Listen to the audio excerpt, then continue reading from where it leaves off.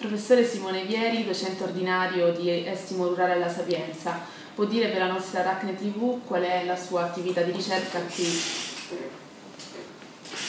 L'attività di ricerca in questo settore, che poi è economia agraria ed estimo rurale, eh, per quanto mi riguarda è relativo soprattutto ai temi della politica agraria. Io mi sono sempre occupato di politica agraria, attualmente i temi sui quali ho concentrato la mia attenzione riguardano principalmente la multifunzionalità agricola, l'impiego degli UGM in agricoltura, le problematiche relative alle agroenergie e poi la politica agricola comune che rimane un, diciamo, uno dei miei principali campi di interesse.